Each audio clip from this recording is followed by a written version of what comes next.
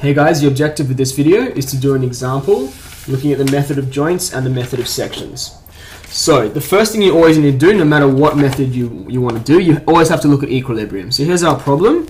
We have 100 kilonewtons, 80 kilonewtons, AX, AY, because that's a pin joint, and FY reaction, because that's a roller joint. So I'm first going to take moments in the x direction to equal 0.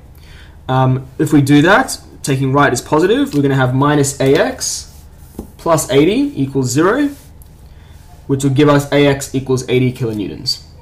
So the next thing we're going to do, so we've found AX, we now want to take moments about a point. So I'm going to take moments about A, because that will eliminate A, Y, AX, and 100, because none of them have lever arms, which will just leave me with an, with an equation with FY and 80 in it.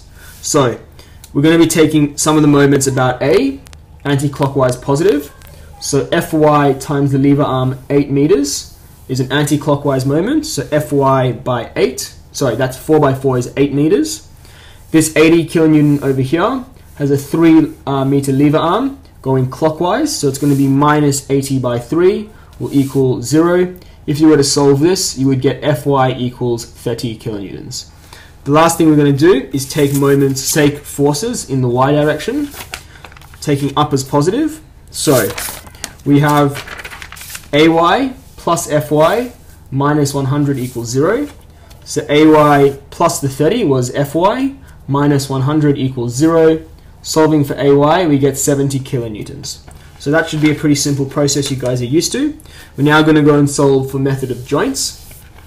And we're going to be looking at members BD and AD. So BD is this member here, and AD is that member there. So we're looking at the axial load in those members.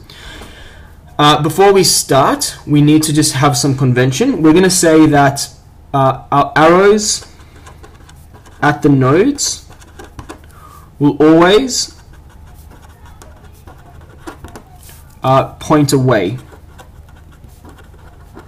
So whenever we're solving something unknown, we're always going to put the arrows pointing away. You're going to see what that means in a sec. Uh, pointing away from the node.